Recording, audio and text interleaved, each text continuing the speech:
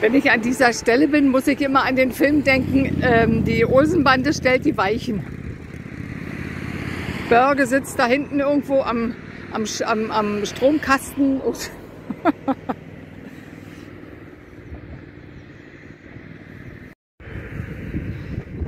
Ich hätte jetzt beinahe noch gesagt, welcher Politiker mich an Egon Olsen erinnert. Ich sage es aber nicht.